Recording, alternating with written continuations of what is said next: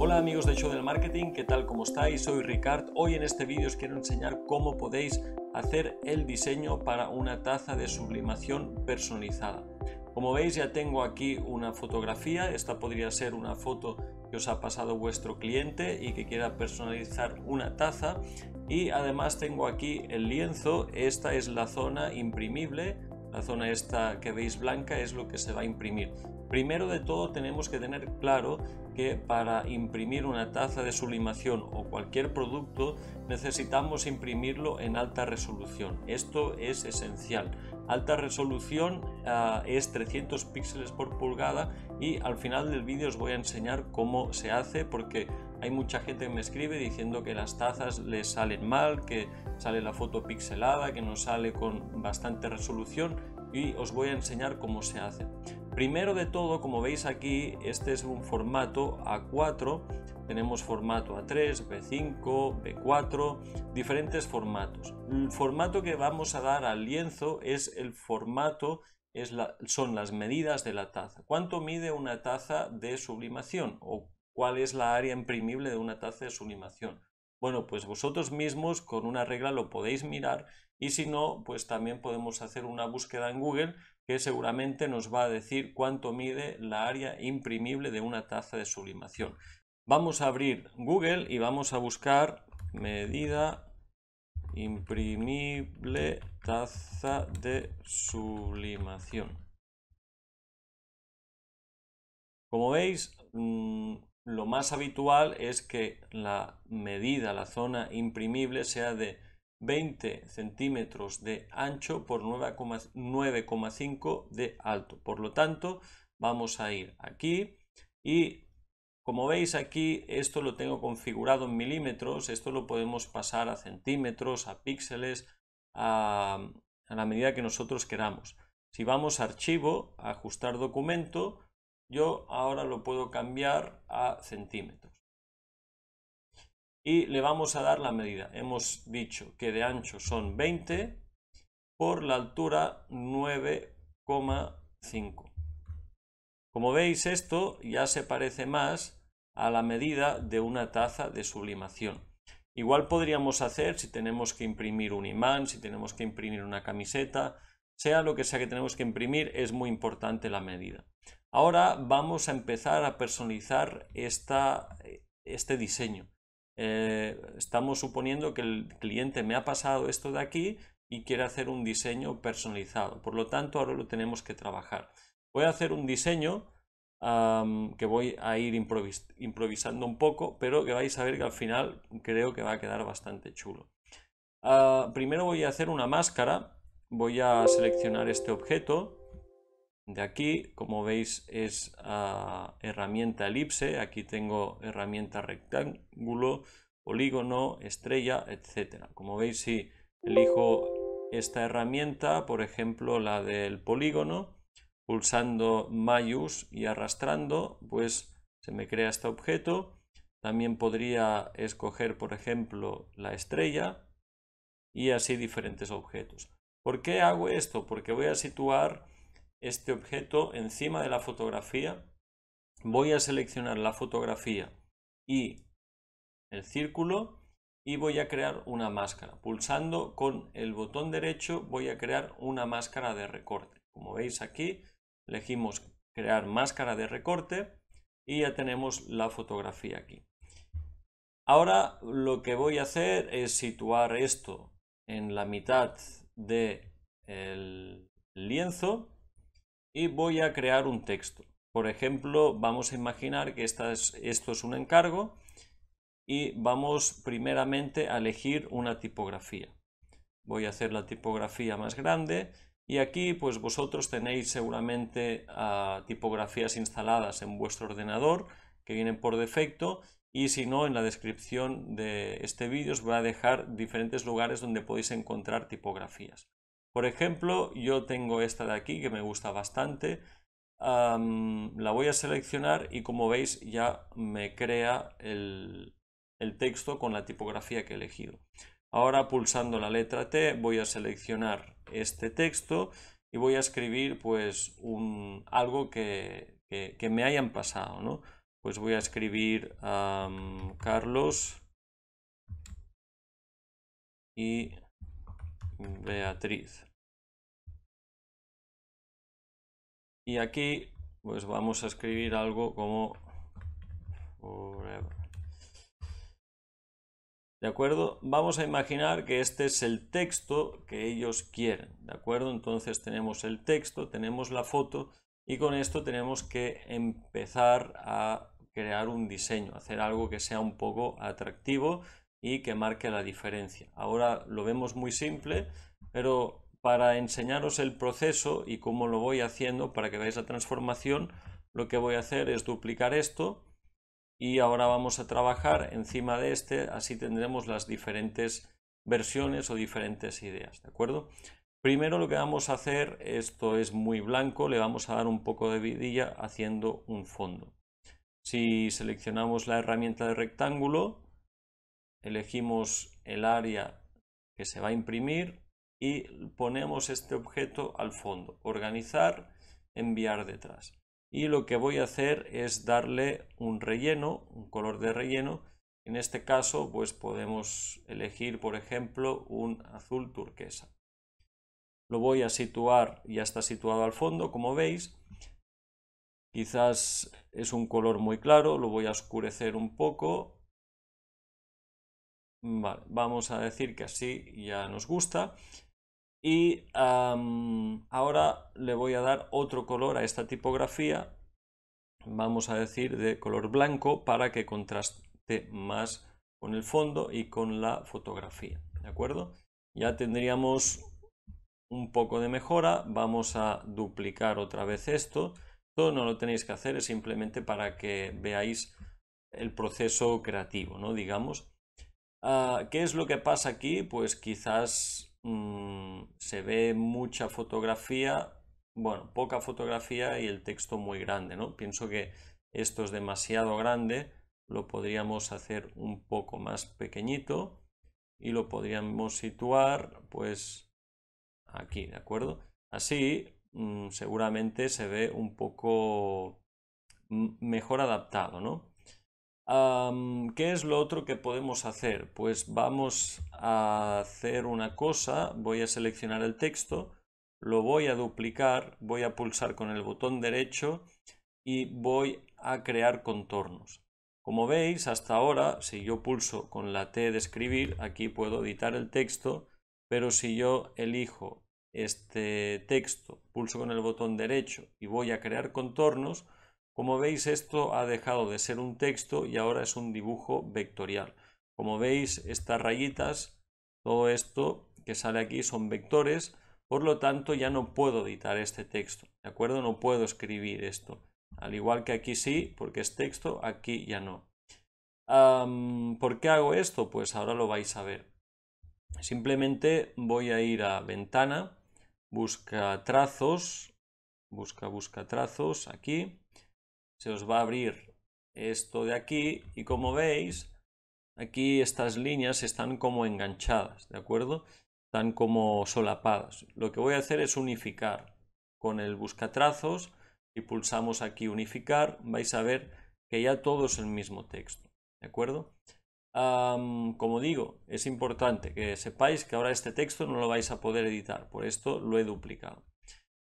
Voy a seleccionar el texto y lo voy a duplicar otra vez aquí por si acaso. Y este le voy, voy a ir a objeto y voy a ir a trazado y desplazamiento. Y como veis me está creando un relieve digamos alrededor del texto que voy a usar como ah, para darle un poco más de calidad al diseño. Lo vamos a situar el desplazamiento en 0,2 y le vamos a decir OK.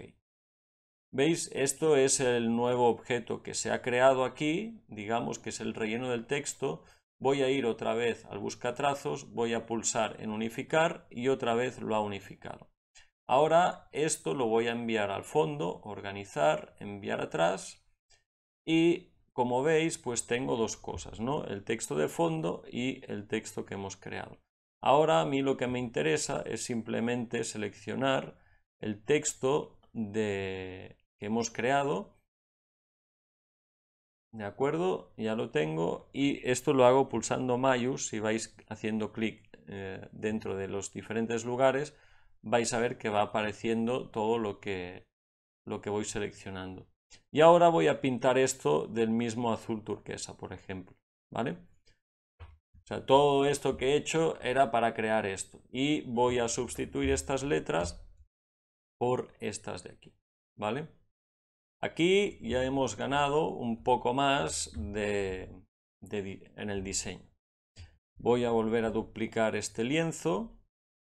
Y ahora aquí, bueno, pues yo creo que le falta algo, ¿no? Mm, yo creo que, que aquí le falta vidilla.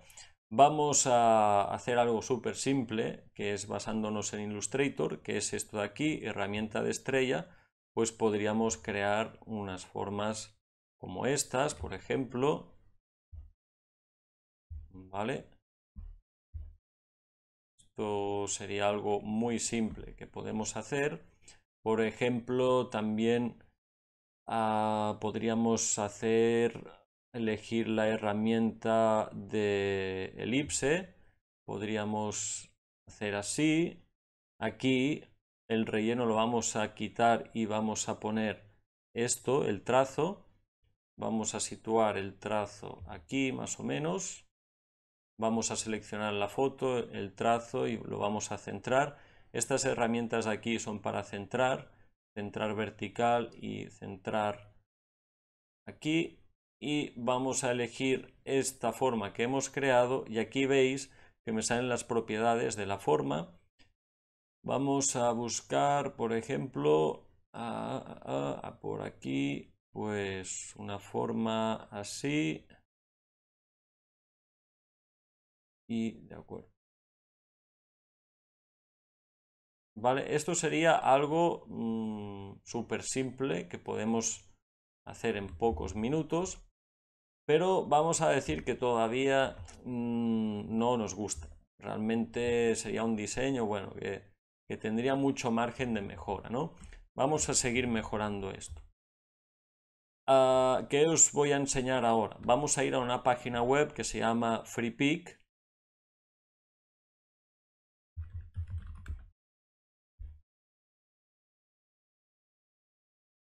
Os voy a dejar en, la descripción del curso el link para que, veáis. Y vamos a, suponer que esta persona que nos ha encargado la, taza, pues no sé, les gusta el tema de las vans, ¿no? De ir los fines de semana con su van, viajar con la van por el mundo. Vamos a escribir aquí van o furgoneta y se nos van a abrir diferentes imágenes relacionadas con las vans y con el mundo camper, ¿de acuerdo? Mm, son suposiciones que estoy haciendo. A lo mejor a ellos les gusta el fútbol, les gusta el tenis, les gusta el boxeo, ah, les gusta, no sé, cualquier otra cosa y por lo tanto, pues lo, lo ideal sería basar ese diseño en, sus agrados, ¿no? Como veis aquí me puedo bajar de forma gratuita cualquier de estos gráficos que son gratuitos y en este caso me voy a bajar a este de aquí. Vamos a ir a descargar y descarga gratuita. Se nos va a descargar un archivo zip en nuestro ordenador, lo vamos a abrir como veis es este de aquí. Voy a hacer doble clic.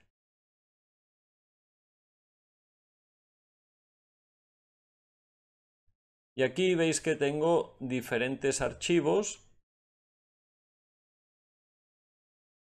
El que nos interesa es este que es en EPS, porque está el JPG, el JPG es para trabajar más en Photoshop digamos, si queremos la imagen sin, los trazos, sin, los vectores, pero en este caso queremos los archivos vectoriales. Vamos a hacer doble clic y lo va a abrir directamente aquí en eh, Adobe Illustrator.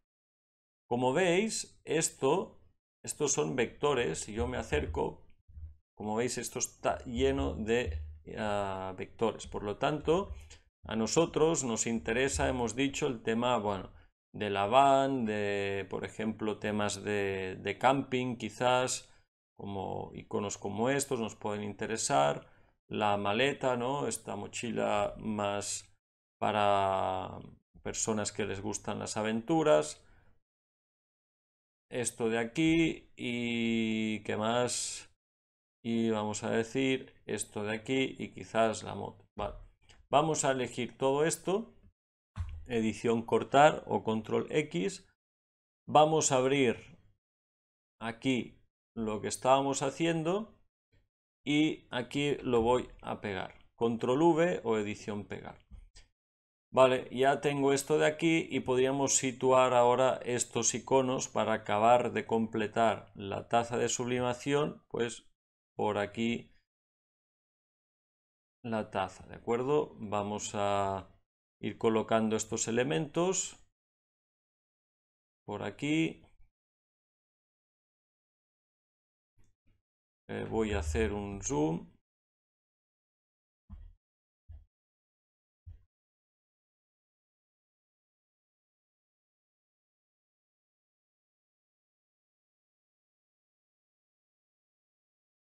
Como veis estoy haciendo esto de forma bastante rápida, pero vosotros pues os podéis entretener aquí horas y horas creo que también se tiene que calcular cuánto estás cobrando por esta taza de sublimación que te están encargando, porque lo ideal es que te salga cuenta, no vas a, gastar aquí tampoco muchísimas horas, ¿vale? Pero es para que veáis cómo le podemos dar un poco de valor o bastante valor a nuestro diseño y hacer algo diferente, totalmente personalizado. ¿Vale? Voy a hacer algo así. Aquí quizás pues vamos a situar esto aquí. ¿Y qué más podemos hacer? A ver. Vale, aquí ya tendríamos, digamos, una taza muy personalizada con diferentes elementos, pero vamos a decir que todavía podemos hacer un, algún cambio o alguna cosa para darle un poco más de, de valor. Voy a duplicar otra vez esta capa y lo que voy a hacer es buscar en FreePick otra vez un fondo. Voy a buscar un fondo diferente. Estamos en FreePick y voy a buscar a background o si escribís fondo os va a salir. Y vamos a mirar un fondo que pueda ser adecuado con lo que estamos buscando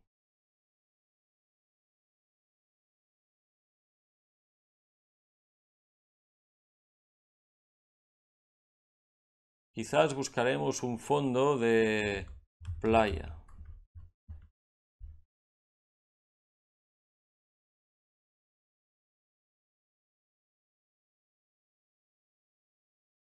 Vale, vamos a decir que nos interesa este fondo, lo vamos a descargar, descarga gratuita, vamos a buscar el archivo, en este caso sí es un, un archivo JPG, Vamos a pulsar con el botón derecho, abrir con Adobe Illustrator.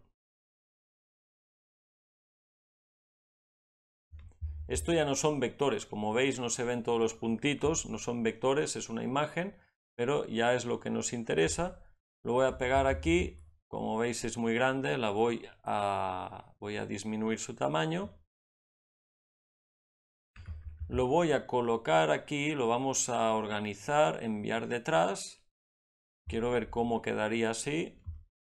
Pero lo que quiero hacer aquí es darle un poco de opacidad. Si elegimos esta capa, vamos a opacidad, un poco menos de opacidad. Y se nos va, como veis, a contrastar con el fondo y vamos a poder ver algún fragmento de la palmera. ¿De acuerdo? Esto es solo un ejemplo de lo que podríamos hacer. Ah, hay algo que todavía quizás no me gusta, creo que me va a gustar más sin las estrellas. Y quizás también voy a hacer, por ejemplo, la furgoneta así un poco más grande y que solo salga una parte de la furgo. Por aquí. Esto lo voy a poner aquí. Y también lo que podríamos hacer, si quisiéramos, es, por ejemplo, pintar esto de otro color. No tiene por qué ser de color negro. Imagina que quieres pintarlo de, no sé, un color marrón. Vamos a ir aquí, lo podríamos pintar del color que nosotros queramos. ¿Vale? No es el caso ahora, no voy a entretenerme más, pero para que sepáis que estos vectores se pueden ah, personalizar a vuestra manera. ¿vale? Y una vez ya tenemos el diseño creado, vamos a suponer que esto ya nos gusta, es momento de exportarlo y aquí es muy importante lo que os decía al principio del vídeo, que lo exportéis en alta resolución y en dos formatos. El primer formato que lo tenemos que exportar es, o guardar más bien, es en el formato propio de Adobe Illustrator. ¿Por qué? Si yo guardo esto en JPG, después no lo podré editar, va a ser una imagen, va a quedar todo incrustado y no podré editarlo. Por eso es importante guardarlo. Primero, archivo, guardar como. Lo vamos a guardar en Adobe Illustrator, como veis. Y aquí vamos a decir diseño taza y lo voy a guardar. Aquí no hace falta guardar resoluciones, digamos que ya se guarda por, defecto tal y como está. Simplemente le dais OK. Y lo tenemos que exportar también en ah, alta resolución y en JPG y aquí sí es importante la resolución. Archivo, exportar, exportar como Vamos a usar la mesa de trabajo número 6, que es la que hemos hecho. Diseño taza de sublimación. Exportar. Y aquí se abre un cuadro de diálogo, que es esto de aquí. Lo vamos a dejar en RGB. Está bien, normalmente se recomienda CMYK cuando es para imprimir, pero igualmente con lo que he visto, con las pruebas que he hecho, imprime igual de bien en RGB que CMYK. Ah, incluso siendo para la sublimación RGB os sirve o si no también lo podéis hacer en CMYK como queráis. También puede ser, podéis hacer dos pruebas, una en RGB y la otra en CMYK, pero normalmente lo que es el, el RIP que se llama de la impresora, el programa de la, de la impresora ya lo convierte a, a CMYK. Vamos a dejarlo en RGB y aquí, muy importante, por defecto normalmente os aparece en 72 píxeles por pulgada o 150 píxeles por pulgada. En este caso vamos a dejarlo en alta resolución 300 píxeles por pulgada, que estos son los, los píxeles que existen por cada pulgada, ¿de acuerdo? Por lo tanto, esto es en alta resolución. Vamos a hacer clic en OK. Y por último vamos a buscar el diseño que hemos guardado, lo tengo aquí, voy a pulsar con el botón derecho, abrir con al previsualizador de fotos y ya tenemos nuestro diseño creado. Como veis y como he dicho lo hemos exportado en alta resolución, todo esto está ah, bien para imprimir sobre todo, si os han encargado esta taza, lo primero que tenéis que comprobar es que la imagen que os pasan sea en buena resolución, porque muchas veces la gente pasan las fotografías mm, que han tomado pues con el móvil o con una cámara a baja resolución y después en el momento de imprimir esto sale pixelado. Por lo tanto, es muy importante mm, que todos los elementos que tengáis los recibas en buena resolución, no hace falta que sea una imagen tampoco gigante, pero en buena resolución y ah, exportándolo a alta resolución vais a tener buenos resultados y una impresión buena. aparte de esto que os he enseñado, pues hay muchas cosas que vais a poder aprender en mi canal. Os animo a que os suscribáis y que dejéis vuestros comentarios y también para las personas que quieren empezar su negocio de sublimación desde casa os dejo en la descripción de este vídeo el acceso a Sublimación Academy un curso que tengo preparado para todos aquellos que queréis ganar dinero con la sublimación. Muchas gracias por vuestra atención, nos vemos en el próximo vídeo, chao.